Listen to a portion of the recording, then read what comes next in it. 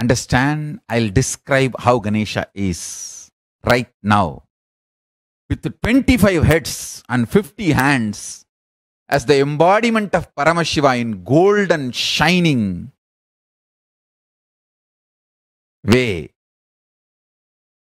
With the 25 elephant heads and 50 hands, as embodiment of Paramashiva, Mahaganapati Paramporul is sitting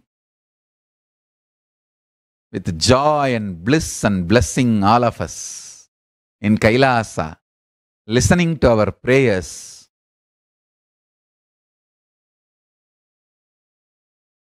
Removing all the obstacles, making all of us experience Paramashiva, oneness. ॐ गणपतये नमः